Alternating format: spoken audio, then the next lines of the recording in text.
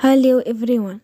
Today we will talk about how to fix failed opening on the application of uh, Telegram. You will click on uh, settings.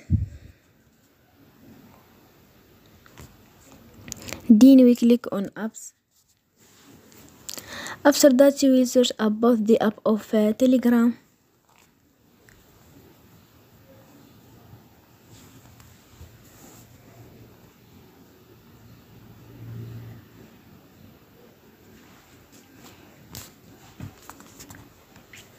Then you will go to force stop